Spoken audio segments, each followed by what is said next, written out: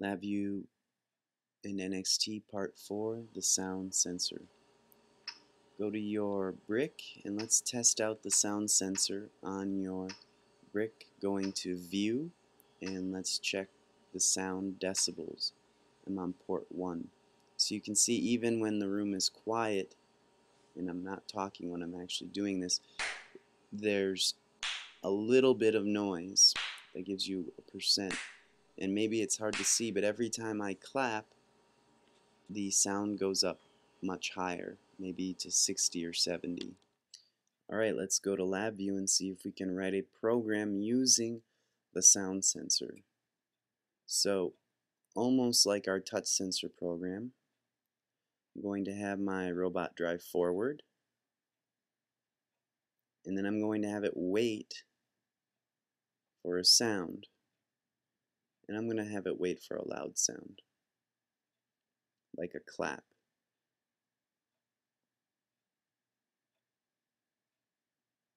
I need that sound to go away, so after that I'm going to wait for the sound to become soft again.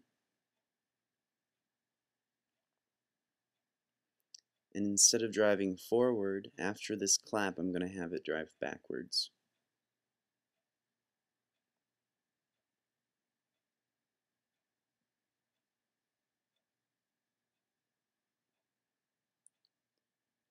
I'm going to have a clap again.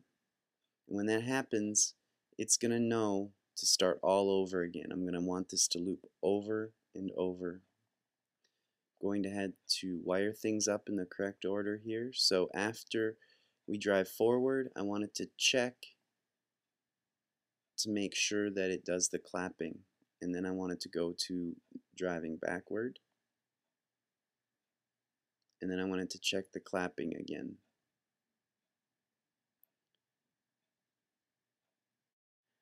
I need to tell the motor blocks which motors to turn.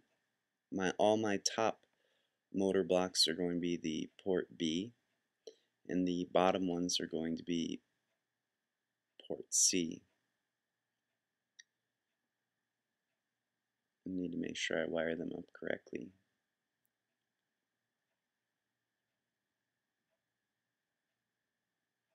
After that I also need to make sure that I set the port for the sound sensor as well.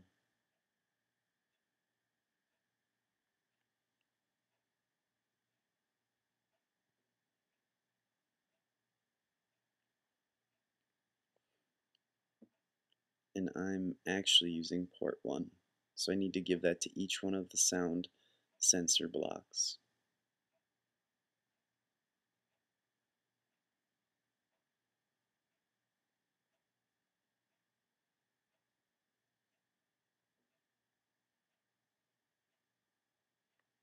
And I think I'm going to go for a loud sound over 80. My clapping is usually over 80.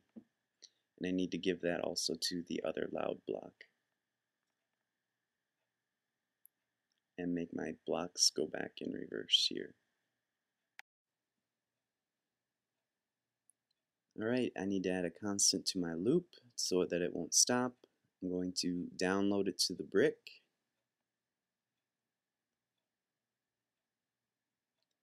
and test it out.